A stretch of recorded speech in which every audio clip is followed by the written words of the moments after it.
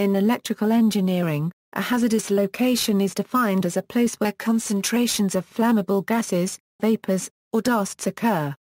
Electrical equipment that must be installed in such locations is especially designed and tested to ensure it does not initiate an explosion, due to arcing contacts or high surface temperature of equipment. For example a household light switch may emit a small, harmless visible spark when switching. In an ordinary atmosphere this arc is of no concern, but if a flammable vapor is present, the arc might start an explosion. Electrical equipment intended for use in a chemical factory or refinery is designed either to contain any explosion within the device, or is designed not to produce sparks with sufficient energy to trigger an explosion. Many strategies exist for safety in electrical installations.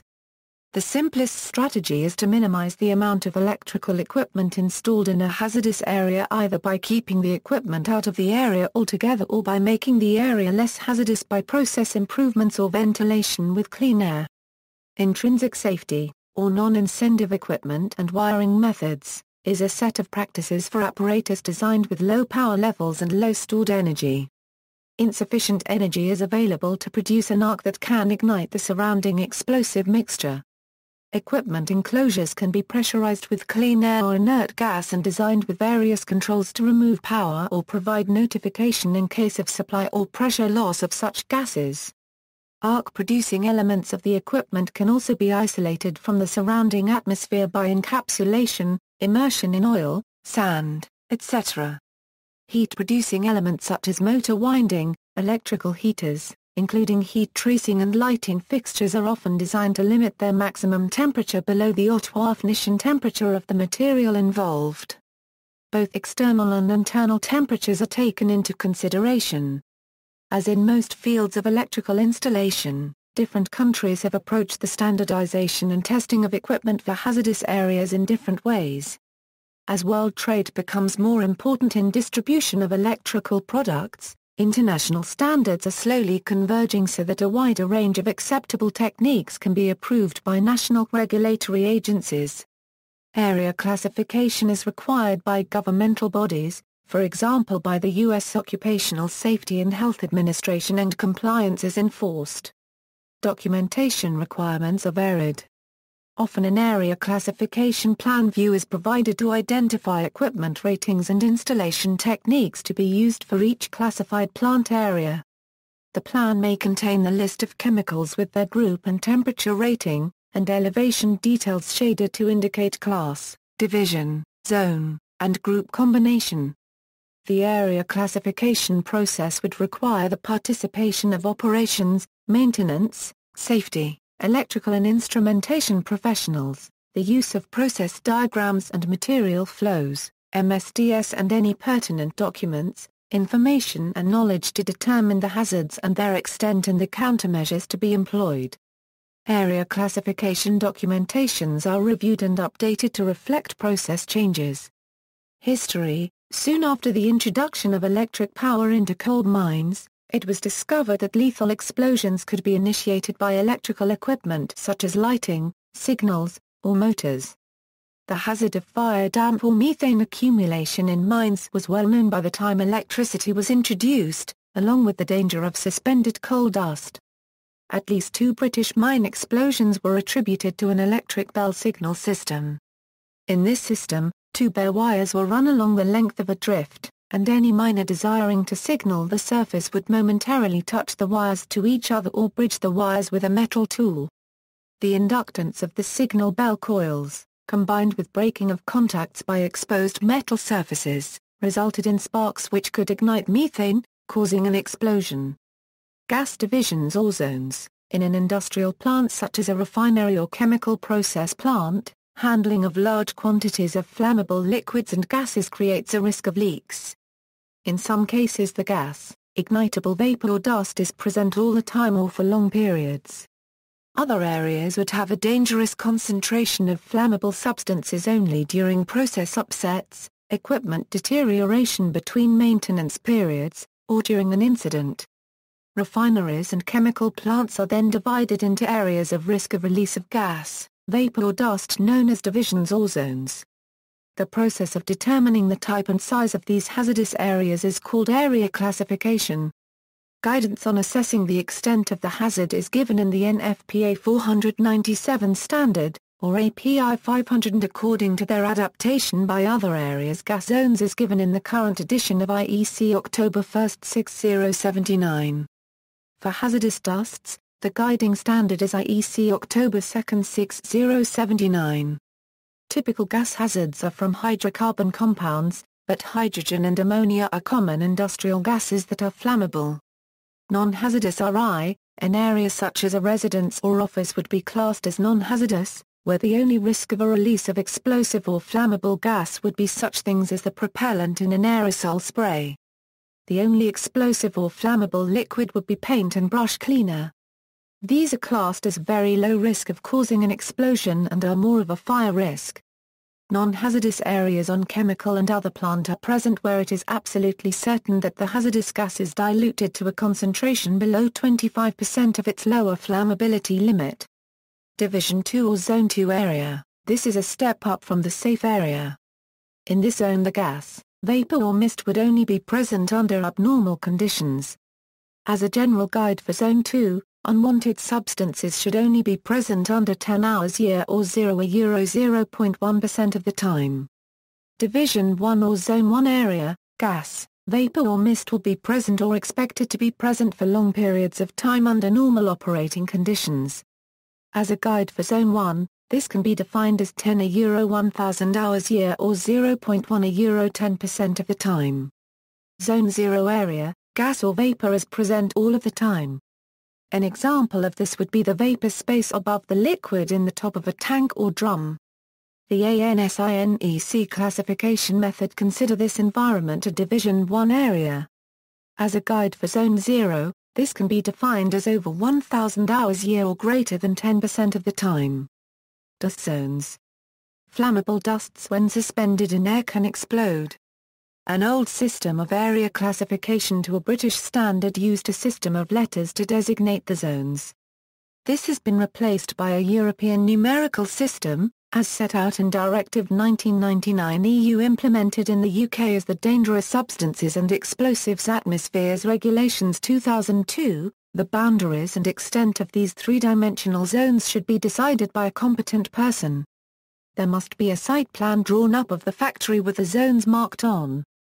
The zone definitions are, Zone 22, a place in which an explosive atmosphere in the form of a cloud of combustible dust in air is not likely to occur in normal operation but, if it does occur, will persist for a short period only, Zone 21, a place in which an explosive atmosphere in the form of a cloud of combustible dust in air is likely to occur, occasionally, in normal operation. Zone 20, a place in which an explosive atmosphere in the form of a cloud of combustible dust in air is present continuously, or for long periods or frequently. Gas groups, explosive gases, vapors and dusts have different chemical properties that affect the likelihood and severity of an explosion. Such properties include flame temperature, minimum ignition energy, upper and lower explosive limits, and molecular weight. Empirical testing is done to determine parameters such as the maximum experimental safe gap, minimum ignition current, explosion pressure and time to peak pressure, spontaneous ignition temperature, and maximum rate of pressure rise. Every substance has a differing combination of properties but it is found that they can be ranked into similar ranges, simplifying the selection of equipment for hazardous areas. Flammability of combustible liquids are defined by their flash point. The flash point is the temperature at which the material will generate sufficient quantity of vapor to form an ignitable mixture. The flash point determines if an area needs to be classified. A material may have a relatively low autoignition temperature yet if its flash point is above the ambient temperature, then the area may not need to be classified. Conversely if the same material is heated and handled above its flash point, the area must be classified. Each chemical gas or vapor used in industry is classified into a gas group. Apparatus marked IIB can also be used for IIA gases. IIC marked equipment can be used for both IIA and IIB. If a piece of equipment has just two and no A, B, or C after then it is suitable for any gas group. a list must be drawn up of every chemical gas or vapor that is on the refinery chemical complex and included in the site plan of the classified areas. The above groups are formed in order of how volatile the gas or vapor would be if it was ignited, IIC being the most volatile and IIA being the least. The groups also indicate how much energy is required to ignite the gas by spark ignition, Group IIA requiring the most energy and IIC the least. Equipment protection level In recent years also the equipment protection level is specified for several kinds of protection. The required protection level is linked to the intended use in the zones described below. Temperature classification Another important consideration is the temperature classification of the electrical equipment. The surface temperature or any parts of the electrical equipment that may be exposed to the hazardous atmosphere should be tested that it does not exceed 80% of the auto-ignition temperature of the specific gas or vapor in the area where the equipment is intended to be used. The temperature classification on the electrical equipment label will be one of the following, the above table tells us that the surface temperature of a piece of electrical equipment with a temperature classification of T3 will not rise above 200 AA degree Celsius. Auto-ignition temperatures The auto-ignition temperature of a liquid, gas or vapor is the temperature at which the substance will ignite without any external heat source. The exact temperature value determined depends on the laboratory test conditions and apparatus, such temperatures for common substances are, the surface of a high-pressure steam pipe may be above the auto-ignition temperature of some fuel-air mixtures. Auto-ignition temperatures The auto-ignition temperature of a dust is usually higher than that of vapors and gases. Examples for common materials are, type of protection, to ensure safety in a given situation, Equipment is placed into protection level categories according to manufacture method and suitability for different situations. Category 1 is the highest safety level and Category 3 the lowest. Although there are many types of protection, a few are detailed, the types of protection are subdivided into several subclasses, linked to EPL, MA and MB, PX, PY and PZ, EA, IB and IC. The A subdivisions have the most stringent safety requirements, taking into account more than one independent component faults simultaneously. Multiple protection Many items of Ex-rated equipment will employ more than one method of protection in different components of the apparatus. These would be then labeled with each of the individual methods. For example a socket outlet labeled XT might have a case made to XE and switches that are made to XD. ANSI/NFPA areas description, Class I, Div 1, where ignitable concentrations of flammable gases, vapors or liquids are present continuously or frequently within the atmosphere under normal operation conditions. Class I, Div 2, where ignitable concentrations of flammable gases, vapors, or liquids are present within the atmosphere under abnormal operating conditions. Class II, Div 1, where ignitable concentrations of combustible dusts are present within the atmosphere under normal operation conditions. Class II, Div 2, where ignitable concentrations of combustible dust are present within the atmosphere under abnormal operating conditions. Class 3, Div 1, where easily ignitable fibers or materials producing combustible flyings are present within the atmosphere under normal operation conditions. Class 3, Div 2, where easily ignitable fibers or materials producing combustible flyings are present within the atmosphere under abnormal operating conditions. Common materials within associated class and group ratings, such as Class I, Division 1, Group A, Class I areas, Group A, acetylene slash Group B, hydrogen slash Group C, propane and ethylene slash Group D, benzene, butane, methane and propane, Class II areas, Group E, metal dust slash group F, carbon and charcoal slash group G, flour, starch, wood and plastic, class 3 areas, NO group, cotton and sawdust. For more information see Article 500 of NFPA 70, the National Electric Code, as published by the National Fire Protection Association. Equipment Category The equipment category indicates the level of protection offered by the equipment. Category 1 equipment may be used in Zone 0, Zone 1 or Zone 2 areas. Category 2 equipment may be used in Zone 1 or Zone 2 areas. Category 3 equipment may only be used in Zone 2 areas. Labeling All equipment certified for use in hazardous areas must be labeled to show the type and level of protection applied. Europe In Europe the label must show the CE mark and the code number of the certifying body.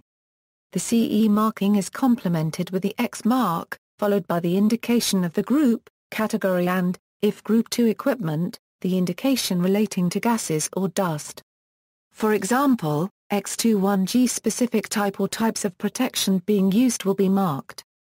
EX EIICT4, EX NANOMPA 2T3X, industrial electrical equipment for hazardous area has to conform to appropriate parts of standard EN 60079 and in some cases, certified as meeting that standard. Independent test houses are established in most European countries, and a certificate from any of these will be accepted across the EU. North America In North America the suitability of equipment for the specific hazardous area must be tested by a nationally recognized testing laboratory. Such institutes are UL, MET, FM, CSA or Intertek, for example. The label will always list the class, is, division, S, and may list the group, S, and temperature code. Directly adjacent on the label one will find the mark of the listing agency. Some manufacturers claim suitability, or built to hazardous areas in their technical literature, but in effect lack the testing agency's certification and thus unacceptable for the AHJ to permit operation of the electrical installation system. All equipment in Division 1 areas must have an approval label, but certain materials, such as rigid metallic conduit, does not have a specific label indicating the CL-Div1 suitability and their listing as approved method of installation in the NEC serves as the permission. Some equipment in Division 2 areas do not require a specific label, such as standard three-phase induction motors that do not contain normally arcing components. Also included in the marking are the manufacturer's name or trademark and address, the apparatus type, name and serial number, year of manufacture and any special conditions of use. The NEMA enclosure rating or IP code may also be indicated, but it is usually independent of the classified area's suitability. See also, electrical conduit, intrinsic safety, ATEX directive, pressure piling, mineral insulated copper-clad cable, grounding kit, CompEx competency standard, references, Bossert and Hurst 1986, PA 17. ABC Hazardous Area Classification and Control of Ignition Sources. Health and Safety Executive. September 22, 2004. Retrieved May 7, 2011 A, Bossert and Hurst 1986, Chapter 9. BSEN 60079, Explosive Atmospheres, Bossert, John. Hurst, Randolph. Hazardous Locations, A Guide for the Design, Construction, and installation of electrical equipment. Toronto, Canadian Standards Association. ISBN A0-9690124-5-4A. Further reading, Alan McMillan, Electrical Installations in Hazardous Areas, Butterworth Heinemann 1998, ISBN 0-7506-3768-4. Peter Schramm Electrical Installations in Hazardous Locations, Jones and Bartlett, 1997, ISBN 0-87765-423-9, Intrinsic Safety in Cell Phones, Smartphones and PDAs, Aira Wirelessa, External Links, ATEX Explained, ATEX Use Directive, ATEX Directive in Detail, Hazardous Area Basics, ESHEX System, Safety. Zones explained.